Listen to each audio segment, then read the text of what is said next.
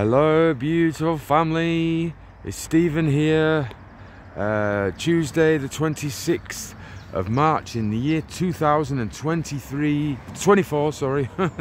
all right, I hope you are all well.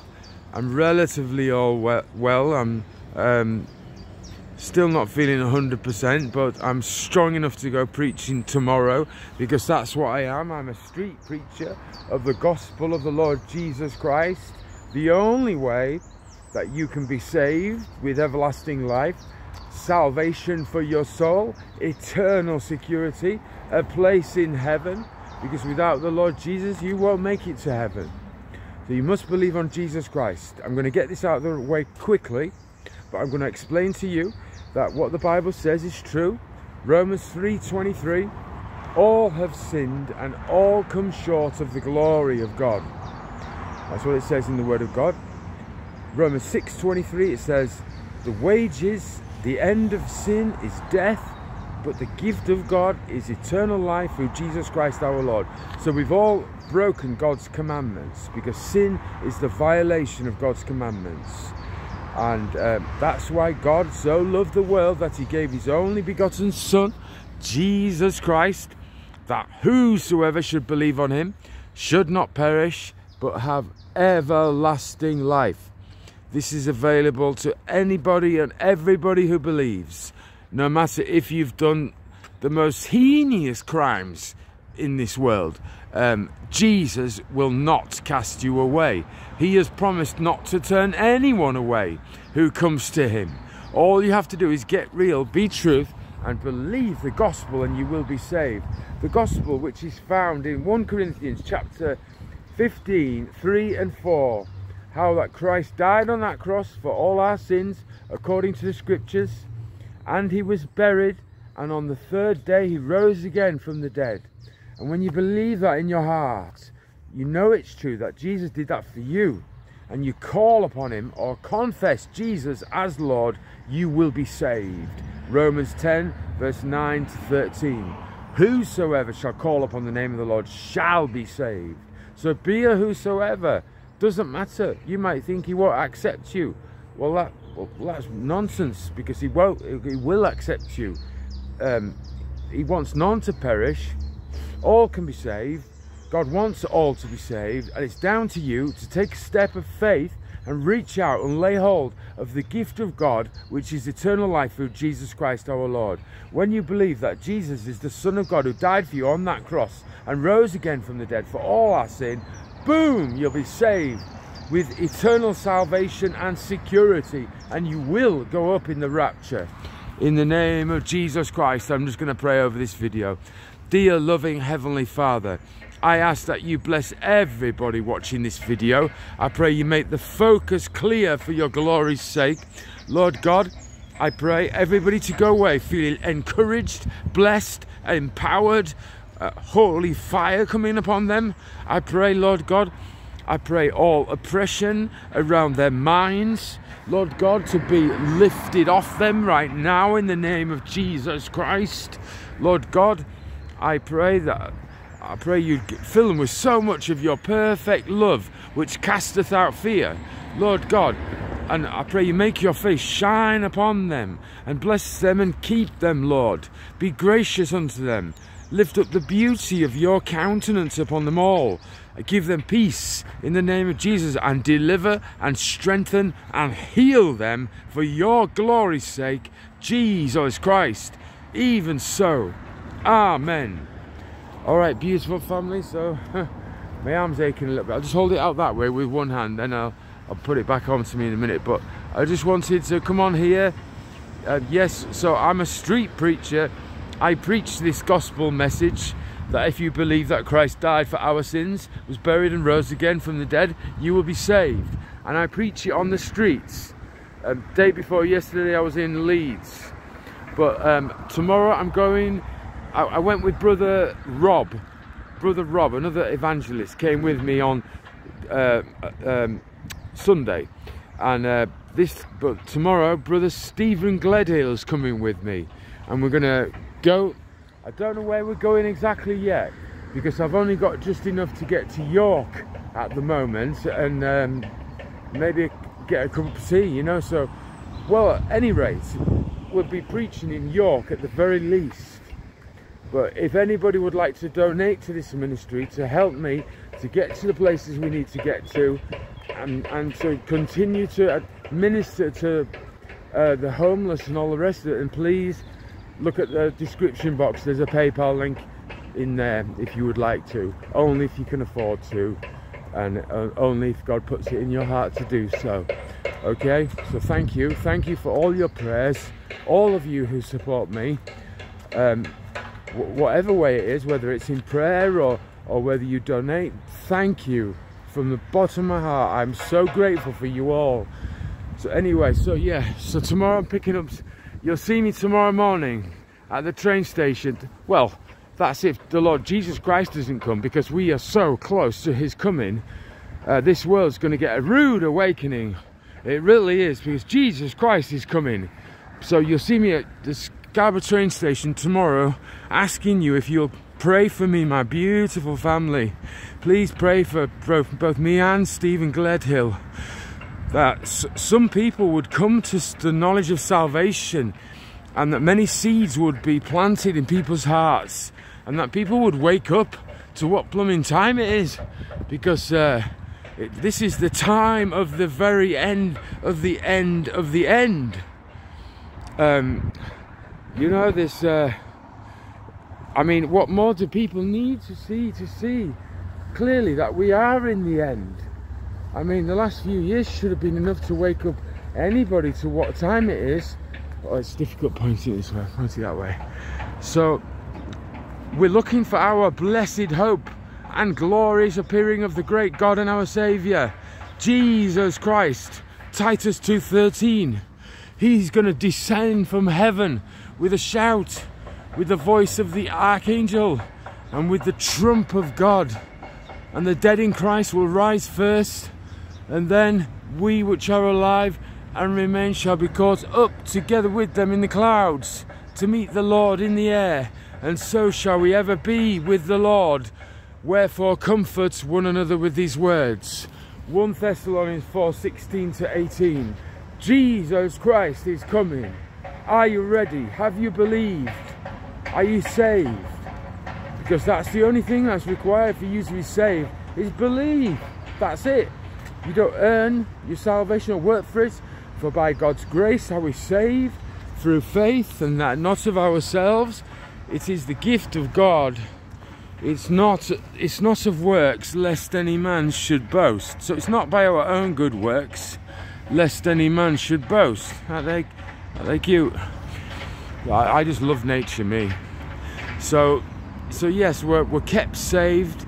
We're not kept saved by good works that we do. They don't keep us saved. We're already saved. Past tense, it's a done thing, a done deal. We're sealed until the day of redemption. So we're kept saved by the power of God's Spirit. And we're under the blood of Jesus. So we're justified by the shed blood of Jesus, washed in the blood of Jesus Christ. And God has cast our sin into the deepest part of the ocean He's removed our sin as far as the east is from the west, and he'll never remember it again. That is your lifetime of sin removed. That is past, present, and future. Yes, indeed. Yes, all sin, your lifetime. The blood of Jesus cleanseth us from all sin. However, let me get to the point. Some people say that this is uh, easy believism or we're just looking for we're just looking for escape because we believe in the pre-tribulation rapture. We just want to escape. Too right, we do. and um, and we just uh, we, we, just say we, we, say past, present, and future uh, sins are, are cancelled out just so we can have a license to sin. You know, we're not saying that. Sin grieves God. It grieves Holy Spirit, and repetitive sin if, if we don't do something about it, God will. He'll, he'll, he'll chastise us. You know, he'll chastise us onto the right path. Always. If we stray, well, listen, if you have just sinned, just know that He is faithful and true. His name is faithful and true. And that if we confess our sin, He's faithful and just to forgive us our sin and to cleanse us of all unrighteousness. So if you have sinned, you just get down on your knees and you say, Sorry, Lord, and but do this one thing, and that is when you ask for forgiveness, when you acknowledge a sin in particular, receive forgiveness and don't repeat it afterwards. God's dealt with it. Have some faith that you've been forgiven.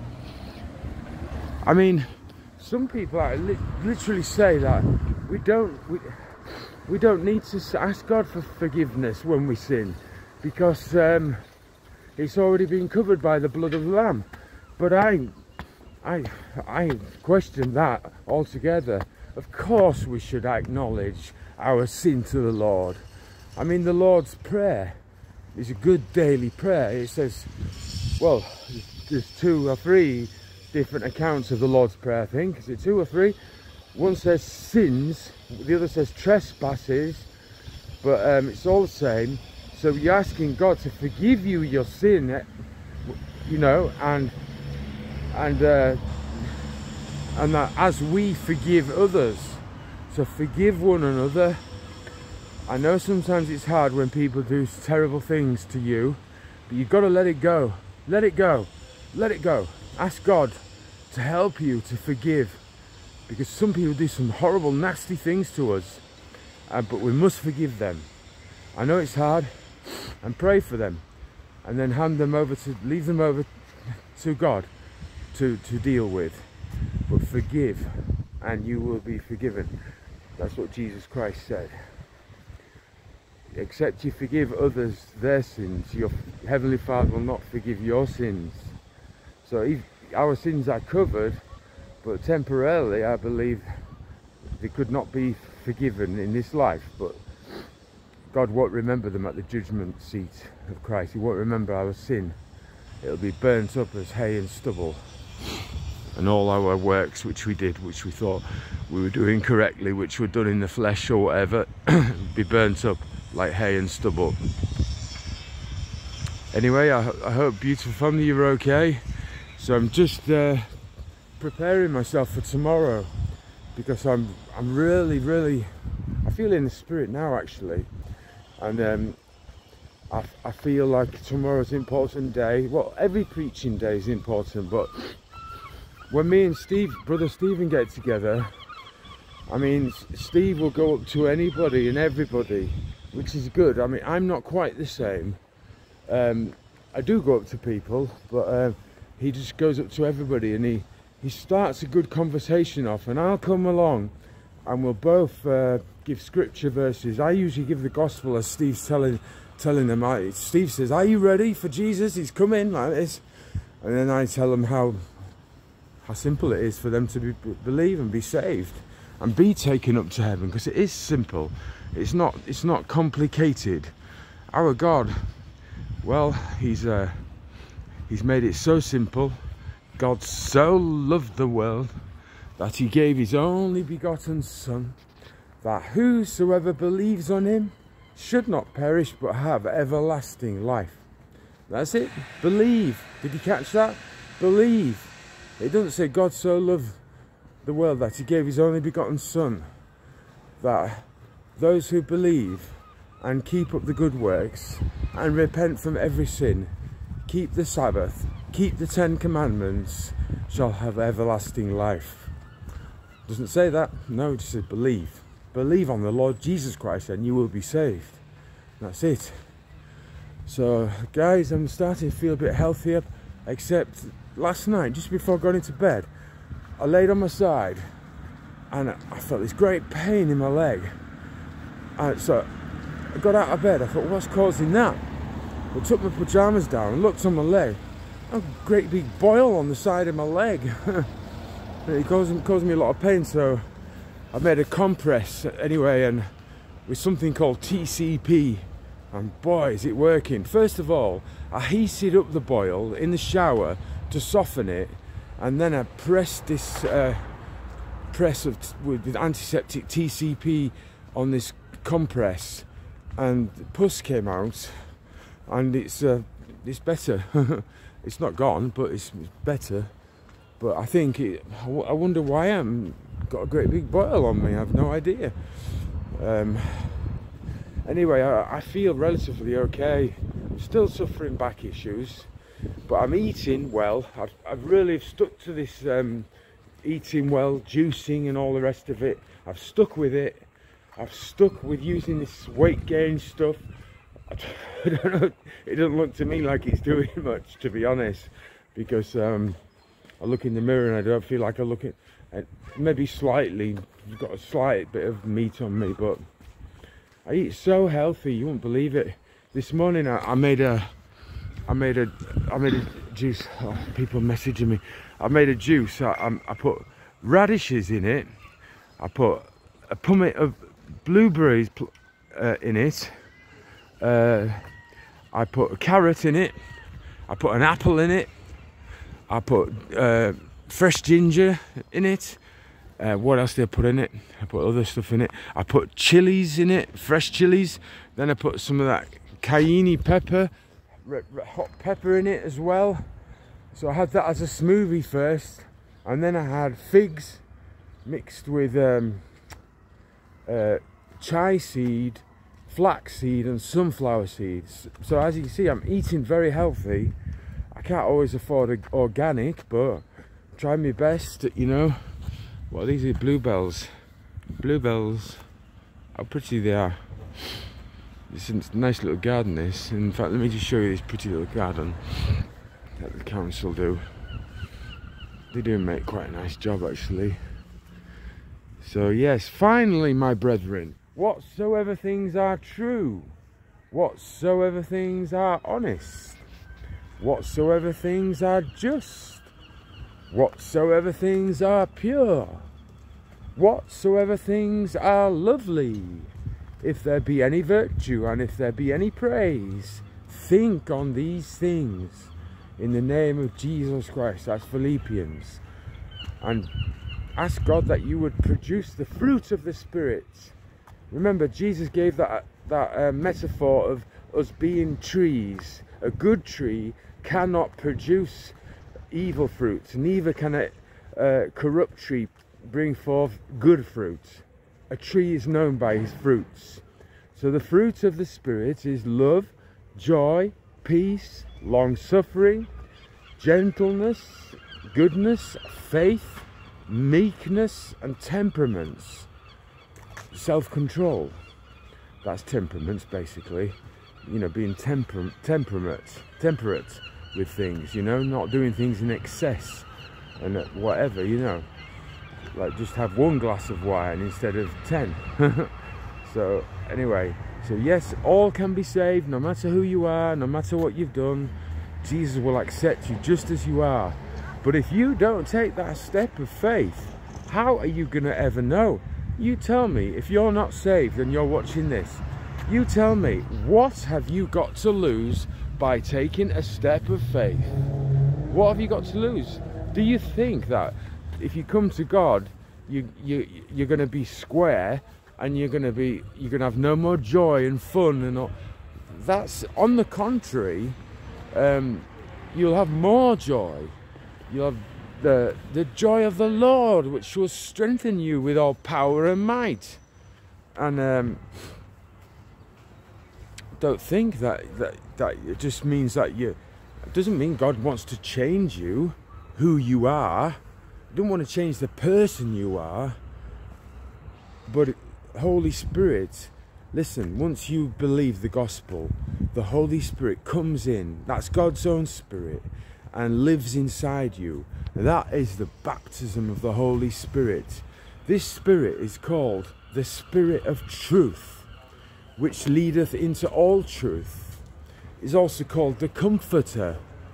So I pray the Comforter come up, cometh upon you all in the name of Jesus Christ, with tender loving forgivenesses and kindnesses and mercies in the name of Jesus Christ, and make you bold and courageous, bold as lions in the name of Jesus Christ, for the glory of Jesus Christ. Amen. I'll point it this way, guys. So I'll make it a little bit of a longer video because, uh, well, I was told, I think it was about two years ago, I was told uh, that you've got to make it under 13 because the number 13 is the number of rebellion. So I, I took this advice and and I found it wasn't true. I could do videos that were longer and stuff. So that's what I'm doing. Listen, if you're not saved, believe now. Because if you're ashamed of the Lord Jesus, He'll be ashamed of you. You won't make it into heaven, and instead you find yourself in hell. Some people tell me I shouldn't preach about hell. Some people say to me, "Oh, um, I, be- I believe, but I don't believe the, in the way you deliver your message like this." Well, I'm telling people the truth. There's not many people who will talk about hell, and I don't even like talking about it, but I have to. It will talk, we're commanded to warn one another. Hell is a place of outer darkness where there is weeping and wailing, where there is gnashing of teeth, separated from God forever, where the worm never dies and the fire never goes out, utterly consumed with terrors. That's what the Bible says. And that's why we are, all of us are telling you the gospel so that you'll believe, so that you don't end up down there and you don't get left behind to face the apocalypse. Because things might look all right where you are and business as usual. You walk into town, everyone's happy, playing, playing and shopping, and but do you realise it's going to change just like that.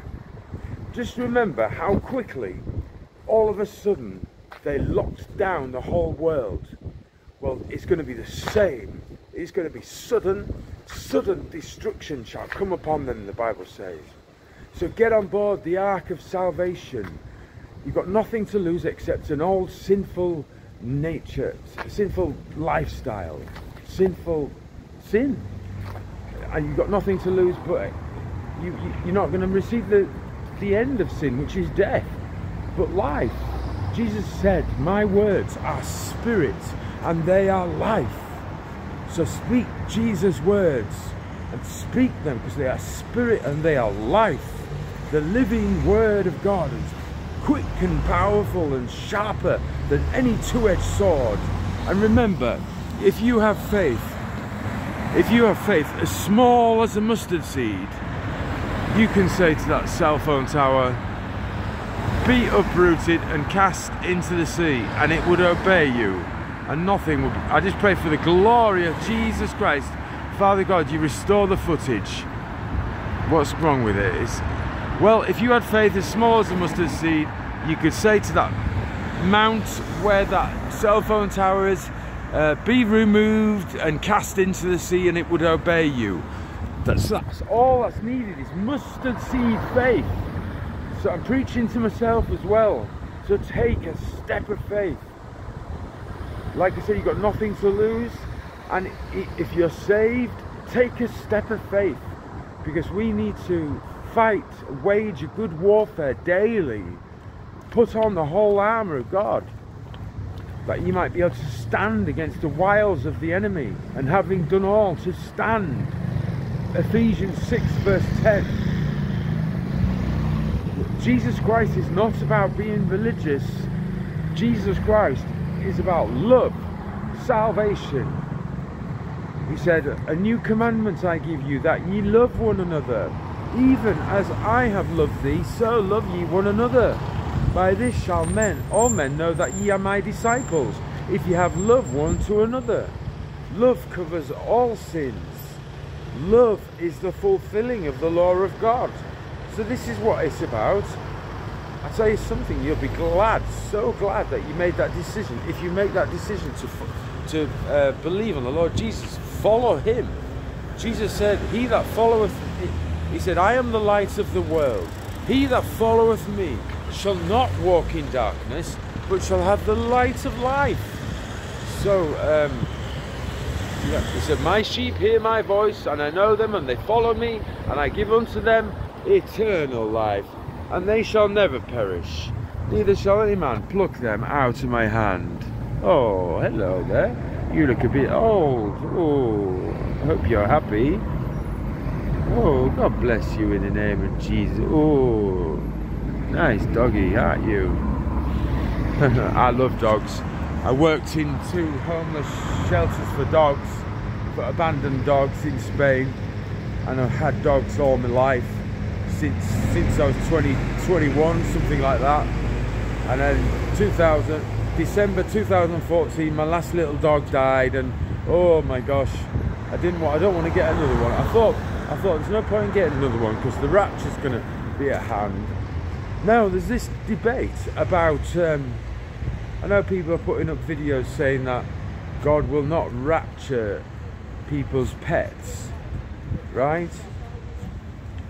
I, I, I don't know about that. Take it to the Lord. Ask and you shall receive, Jesus said. You think about it. Jesus so loves you and all, and all that belongs to you. He loves you so much he was willing to go through that brutal death. Even if it was just for you, he would have done it. So that's how much he loves you and he loves his people. So he doesn't want you to be in a panic worrying about your dogs. Um, I believe personally that yes, they will go up in the rapture. That's what I personally believe. And it didn't say that, but you know, it just says that we which are alive and remain should be caught up together in the clouds to meet the Lord in the air. But um, God doesn't, you know, He loves you so much. Do you think that He's going to allow you to fret and worry about your dogs and they're going to be left behind? You know what I mean? What do you think? Please put it in the comment section because God loves you so much, you know, and I believe He loves you dogs as well, and He knows that you love them. So, you know, He said He will not forsake you. So when you get to heaven, you'll say to him, if, if, if you left your pets behind, you said, you promised never to forsake me, but my pets are forsaken, and now and now they're being eaten by zombies. You know, I can't see it myself. I think God will take his God's born again people and the animals up into heaven. But you leave it in the comment section what you think. Right, okay, I'm going to get off, guys. I might do another video later. Um, since I've been looking after myself a lot better, I feel better. You know, all these juices and smoothies. Look after yourself, guys, because uh, we're being we've got this stuff being dumped on us every single day, and then we've got and then we're under attack by the prince of the power of the air, the air waves. So, so be in prayer, stay in the Word of God, remain in His love. That's what he said, remain in the love of God, his perfect love. So right, okay then. So yes, we're going preaching tomorrow. You'll see me at the station in the morning, um, asking for prayers. I thank you all again. All you faithful people have prayed and supported us and stuck by me, even when it looked like I was done for. You stuck by me and you helped me. What a family. We belong to such a big family.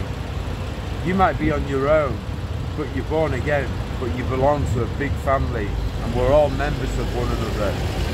So, he puts the solitary in families, uh, the fatherless in families. So, he's so gracious, he's so faithful and true. Says, I'll never leave you, I'll never forsake you. Come, Lord Jesus, we love you, we bless you, we praise your holy name. Jesus Christ of Nazareth. We say, come quickly now. Through Jesus Christ, amen. So yes, I believe this uh, eclipse has something to, do with, uh, listen, if it's just a warning, like it was in Jonah's day, a warning, um, but they repented in Jonah's day, so God repented him of the evil that he was going to bring upon Nineveh. But can you see the USA repenting? No. Can you see them repenting and turning back to the Lord? I don't. So I believe this could be a sign of impending uh, destruction and judgment upon America. I hope not, but we're living in the end times, so it could be. Could be also the rapture day. Could be. Please don't. Anybody tell me. I said it will definitely be because I'm not saying that. I've said it once. It once, and I, that was because I was coerced by two other people into setting a date for, for judgment on America, which a few years ago, and I shouldn't have done it. And um, that was because I was being a people pleaser. So we do make mistakes. I'm not doing that anymore. I'm just going to do what God tells me to do. And He wants me to tell people the gospel now so that they'll just get saved. I'm not here to disciple people or anything like that. I'm here to preach the gospel only. That if people believe that, they're saved forever. That's all. That's all I'm here to do. And to show the love of God freely. Freely you have received, freely give. And with the measure you use for giving, it will be measured back to you. Whatever you give shall be given back to you, full measure, pressed down, running over shall men give into your bosom. For with the measure you use, it shall be measured back to you again. So, all right, beautiful family, I love you very much. I'm just about to stick one of a. I found a few stickers, uh, only about 10, so I'm going to stick one real high up there so these people can't take it off. and he says, Jesus Christ is coming because he is any moment. He promised that he would come. So why people are saying he's not coming now or something, I don't know. Get ready. Be ready. If, if you believe you're ready. But watch. Watch. Because he's coming. Alright, I'm sorry if I'm shouting or seem angry. I'm not angry. Alright. I love you all. See you tomorrow at the train station. Please pray for us, family. Me and brother Stephen Gledhill. I love you all very much. See you above all this chemtrail filth in the third heaven in white robes any moment now.